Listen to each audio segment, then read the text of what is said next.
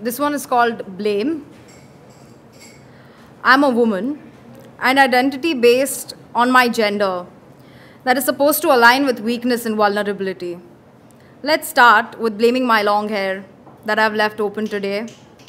Blame my eyes that are dressed in kajal, my lips that wear lipstick sometimes, my low cut top, my bra strap that is showing, my boobs that you mistake for my eyes when you're talking to me, my midriff curves, my ass that you don't miss checking out when I walk ahead, my skin that shows from the ripped parts of my jeans, and my long legs.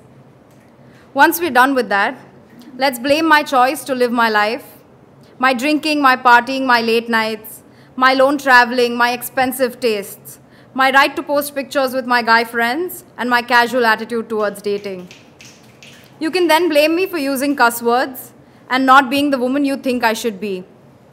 Eventually, you'll run out of excuses.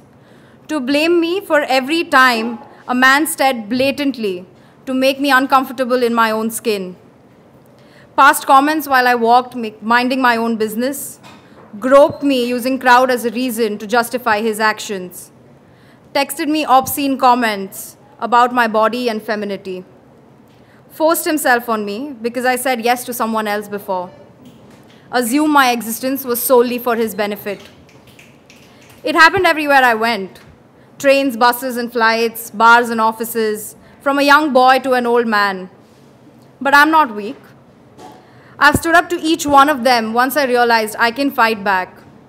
But along with Julius Caesar and the Archimedes principle, if I had been taught the lesson to be intolerant towards these creeps, if I was taught that my body is mine and I have every right to defend it, when a mentally sick individual decides to violate that right, I wouldn't have spent years of my life blaming myself. I wouldn't have been crushed a little bit every time it happened.